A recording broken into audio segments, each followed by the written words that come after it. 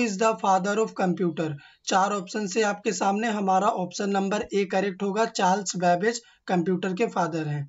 Second question है M S word is an example of input device output device application software या फिर operating system तो यहाँ पे ऑप्शन नंबर सी करेक्ट होगा। एप्लीकेशन सॉफ्टवेयर का एग्ज़ाम्पल है M S word control alt shift and Windows are called modifier key function key, operator key या फिर अल्फ़ा न्यूमेरिक की तो ऑप्शन नंबर ए करेक्ट होगा modifier key. A computer can not boot if it does not have the compiler interpreter linker and loader या फिर operating system तो यहाँ पे option number D correct होगा operating system Microsoft Office is an example of open source software horizontal market software vertical market software या फिर all of एवब तो B number correct answer होगा यहाँ पे। By default your documents print in print view mode landscape mode page setup या फिर portrait तो यहाँ पे हमारा करेक्ट आंसर होगा। डी नंबर पोर्ट्रेट मोड में हमारा डॉक्यूमेंट बाय डिफ़ॉल्ट प्रिंट होता है। What is the full form of internet internet का पूरा नेम आपको बताना है, यानी फुल फॉर्म बताना है। इंटरनेट इंटरनेट वर्क या फिर इंटरनेशनल नेटवर्क या फिर इंटरनल नेट तो यहाँ पे हमारा ऑप्शन नंबर सी करेक्ट होगा।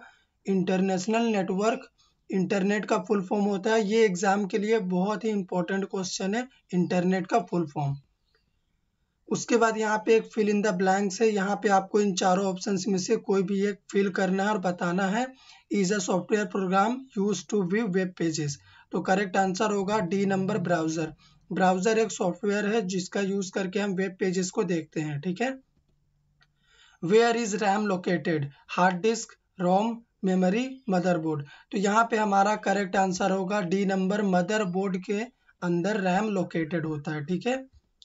Which of the following is a popular programming language for developing multimedia web pages C C plus plus COBOL या फिर जावा करेक्ट आंसर होगा जावा जावा प्रोग्रामिंग लैंग्वेज के ज़रिए हम क्या करते हैं? वेब पेजेस डेवलप करते हैं, बनाते हैं।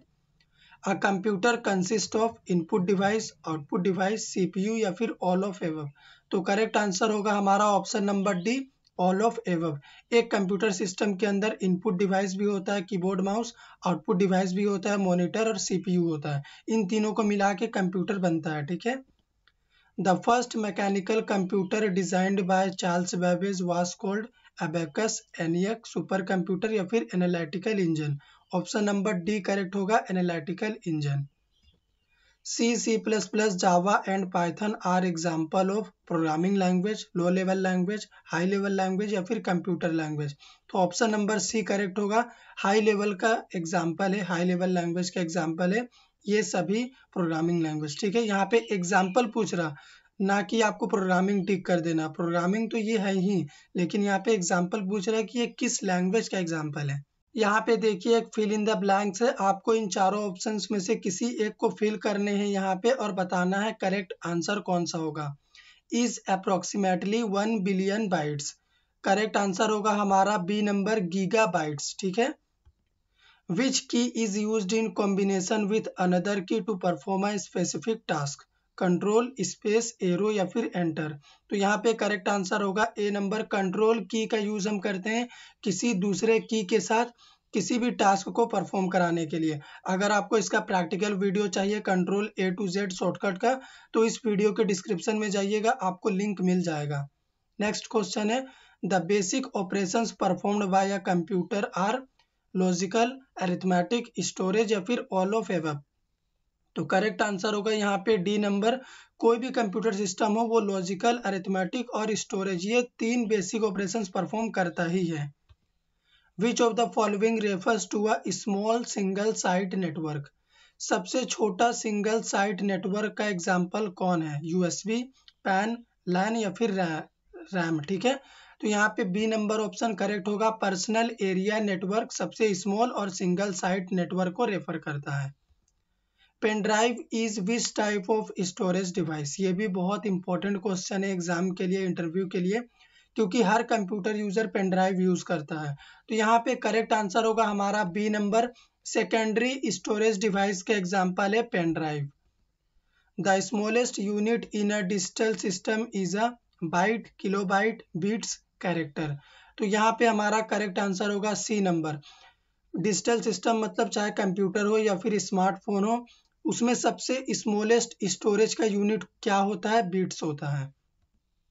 What is the decimal equivalent of the binary number इस बाइनरी नंबर का आपको क्या बताना है? डेसिमल बताना है। तो इसका डेसिमल होगा twenty three B number correct answer क्यों?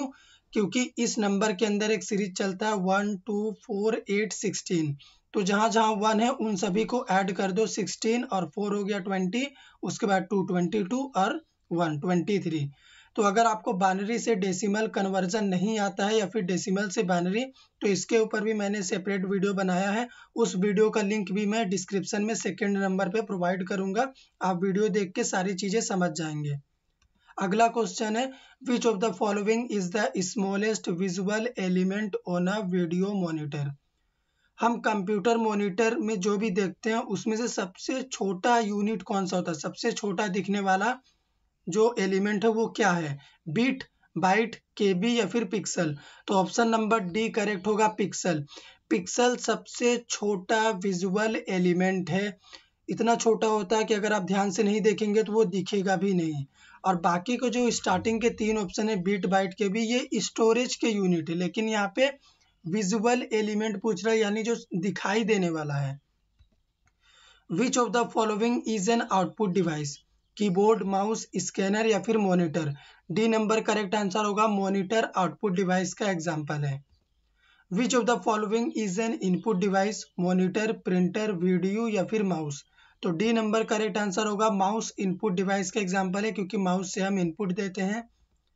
Which of the following is the extension of notepad notepad का एक्सटेंशन क्या होता है? चार ऑप्शन से करेक्ट आंसर होगा डॉट टी एक्स टी ऐसा इसलिए अगर आप नोट पैड में कुछ भी बनाते हैं, कुछ भी लिखते हैं, जब आप उसे सेव करेंगे तो उसका एक्सटेंशन होता है डॉट टी एक्स टी यानी text file BIOS is use by compiler interpreter application software या फिर operating system D number correct answer होगा. बायस का यूज़ करता है ऑपरेटिंग सिस्टम जब हम नया ऑपरेटिंग सिस्टम सिस्टम में इंस्टॉल करते हैं, तब हम बायस विंडोज़ ओपन करते हैं अपने सिस्टम में, ठीक है? Which of the following is equal to a gigabyte चार ऑप्शन से यहाँ पे आपको करेक्ट आंसर करना है। सी नंबर करेक्ट आंसर होगा। 1024 megabytes is equal to one gigabyte ठीक है? What kind of language can computer understand high level middle level machine level या फिर इंग्लिश तो यहाँ पे हमारा सी नंबर करेक्ट आंसर होगा। Machine level language computer system को समझ में आता है। मशीन लेवल मतलब ज़ीरो वन की लैंग्वेज जिसे आप बाइनरी भी कह सकते हैं।